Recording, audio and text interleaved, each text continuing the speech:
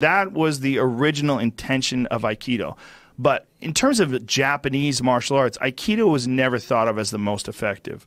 Judo is far more effective because Judo involves people grabbing people and flipping them and slamming them on the ground. Like, and Judo was actually what was taught to the Brazilians.